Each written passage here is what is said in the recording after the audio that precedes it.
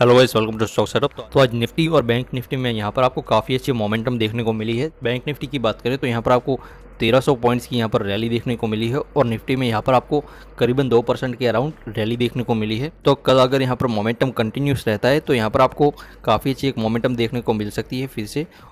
और उसके बाद के अगर प्राइस एक्शन की बात करें तो यहाँ पर अगर मोमेंटम देखने को मिलता है तो उसके बाद यहाँ पर मार्केट हॉल्ट ले सकता है।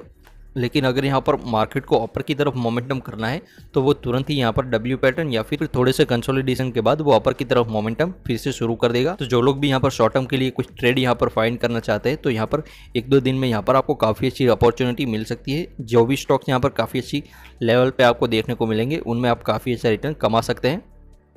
अगर निफ्टी की बात करें तो यहाँ पर जब तक सत्रह का लेवल यहाँ पर ब्रेक नहीं होता तब तक के लिए मार्केट यहाँ पर बुलिश मोमेंटम कंटिन्यू करता रहेगा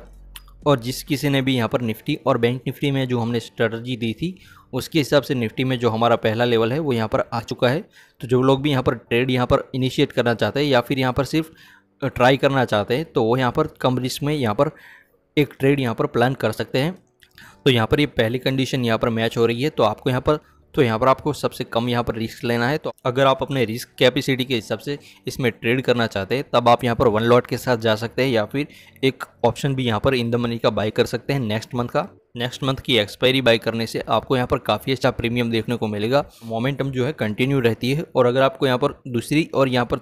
दूसरी या फिर तीसरी यहाँ पर कंडीशन मैच होती है तो दूसरी के हिसाब से हम यहाँ पर जो है अपना रिस्क यहाँ पर बढ़ा सकते हैं। यानी कि अगर हमारी दूसरी कंडीशन मैच हो रही है तो आप यहाँ पर दो लॉट के साथ भी जा सकते हैं और उसके बाद अगर हमारी तीसरी कंडीशन मैच हो रही है तो अब आप यहाँ पर तीन लॉट के साथ भी जा सकते हैं। इसे आप यहाँ पर पहली बार यहाँ पर यूज़ कर रहे हैं तो आप यहाँ पर कम ई के साथ भी यहाँ पर ट्रेड प्लान कर सकते हैं। तो हमारी यहाँ पर पहली कंडीशन मैच हो चुकी है तो यहाँ पर कल भी ऐसी क्लोजिंग के साथ दूसरी हमारी कंडीशन मैच होती है तो आप यहाँ पर दूसरा ट्रेड यहाँ पर प्लान कर सकते हैं। बैंक निफ्टी में हमारी जो है कंडीशन अभी मैच नहीं हुई है, क्योंकि बैंक निफ्टी काफ़ी अच्छा मोमेंटम कर चुका है, जिसके कारण वो अभी हायर मोमेंटम में है, और अगर यहाँ पर हमारी कंडीशन मैच होती है कहीं पर, तब हम यहाँ पर ट्रेड प्लान करेंगे।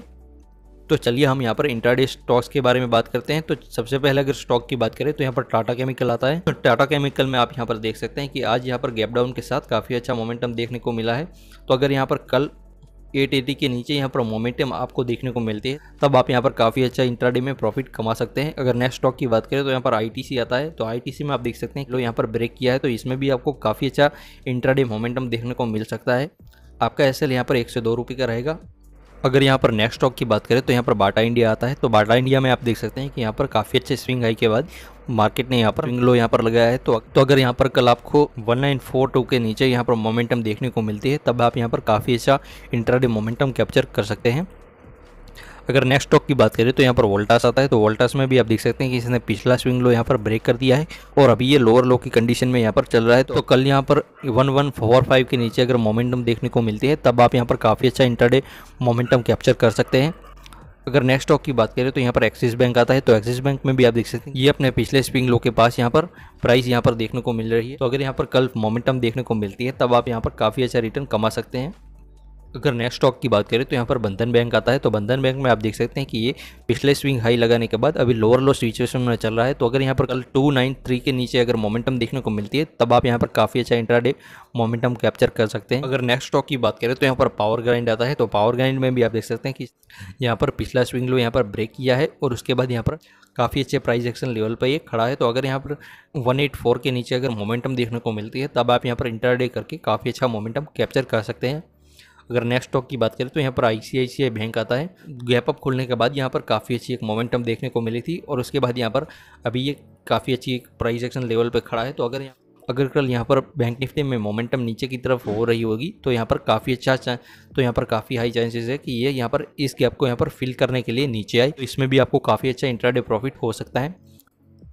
अगर लास्ट स्टॉक की बात करें तो वेदांत आता है तो यहाँ पर वेदांत तो ये अभी एक सपोर्ट लेवल के आसपास यहाँ पर खड़ा हुआ है तो यहाँ पर अगर मोमेंटम देखने को मिलती है तो ये काफ़ी हायर चांसेस है कि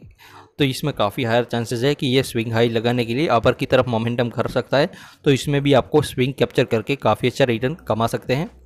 और जिन किसी को भी यहाँ पर बैंक निफ्टी और निफ्टी में हायर प्रोबेबिलिटी वाला सेटअप चाहिए, वो हमें डीएम कर सकते हैं।